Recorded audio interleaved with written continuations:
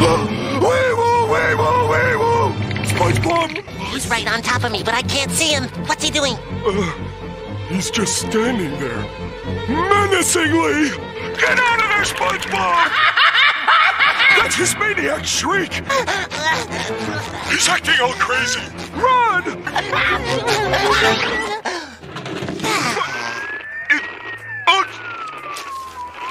Say again, Deputy? the maniac's in the mailbox!